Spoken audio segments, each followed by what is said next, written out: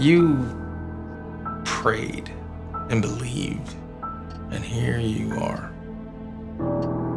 Christianity is the worst virus of all. It slowly creeps into our lives when we're weak or sick or helpless.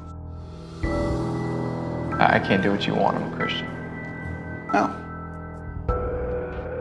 If you cannot bring yourself to admit that God is dead, you will need to defend the antithesis.